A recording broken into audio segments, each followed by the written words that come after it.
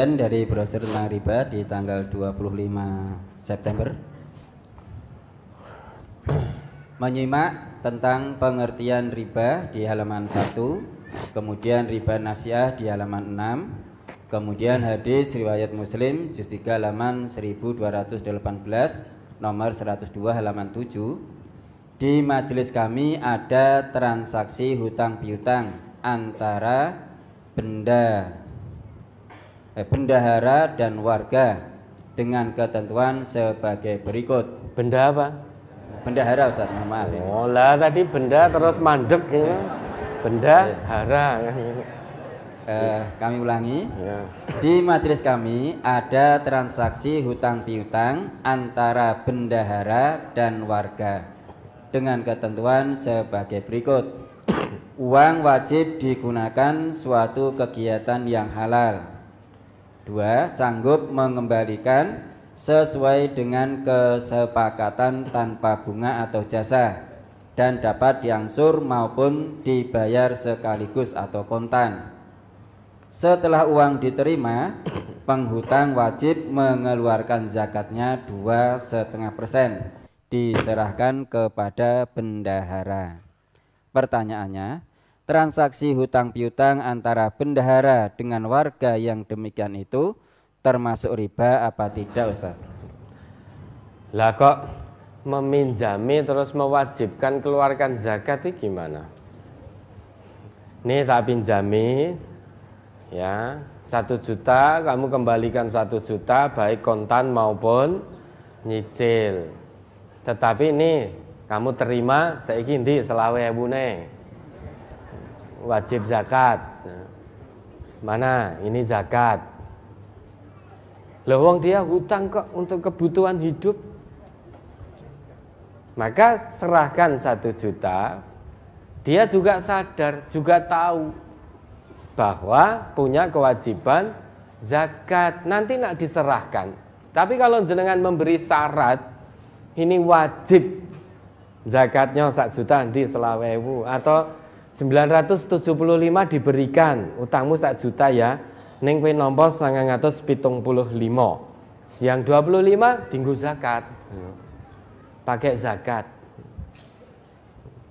Nah kalau memang ada langsung ketentuan seperti itu, itu yang tidak pas. Itu yang tidak pas. Kalau pinjam satu juta, berikan satu juta. Kemudian ingatkan saja. Ingatkan ya.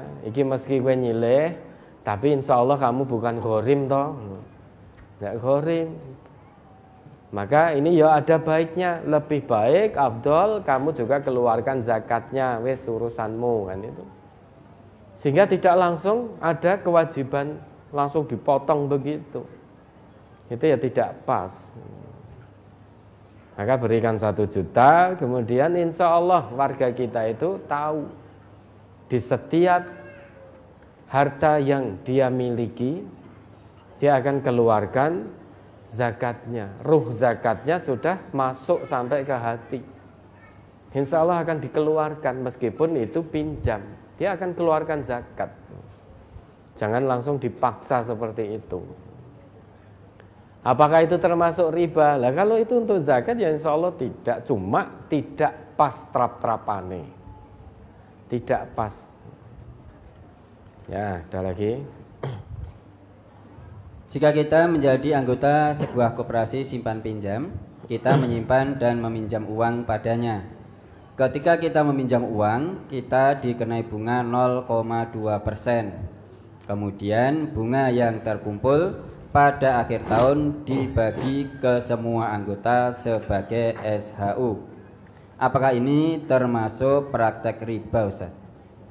Lah ada bunganya no, jenengan sebutkan bunga di situ no. Lah itu akadnya apa? Gitu. Akadnya apa? Riba dan tidak itu dilihat dari akadnya. Kalau hanya simpan pinjam di koperasi, pokoknya nyilih bunganya 0,2 persen.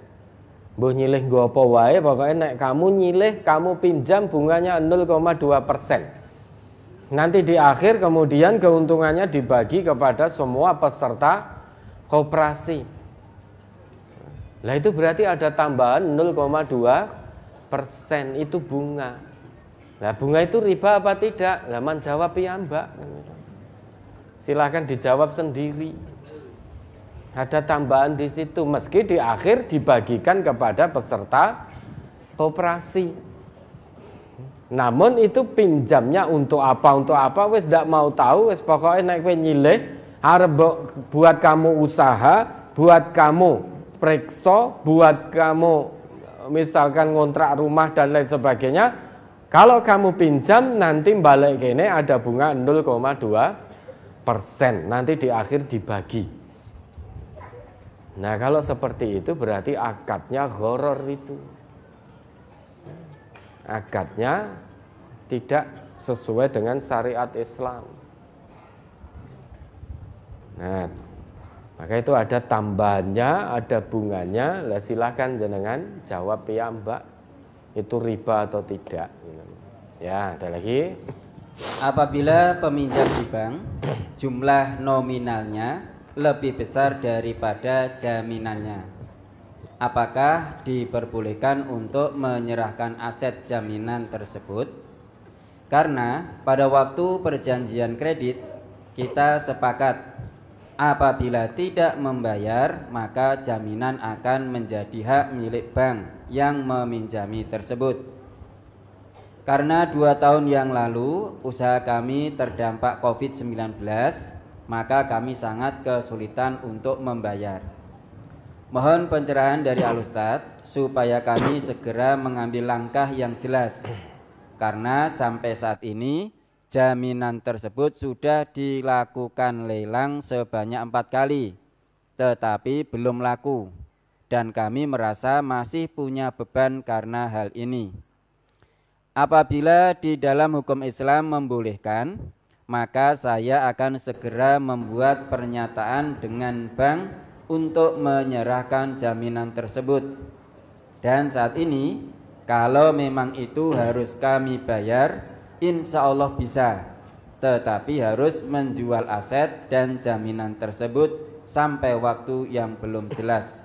Terima kasih atas jawabannya sebelumnya Ustaz. Jadi ini panjenengan pinjam dapat dana pinjaman dari bank lebih besar daripada jaminan. Gitu toh? Yes. Misalkan jaminannya rumah. Rumahnya hanya seharga 100 juta misalkan.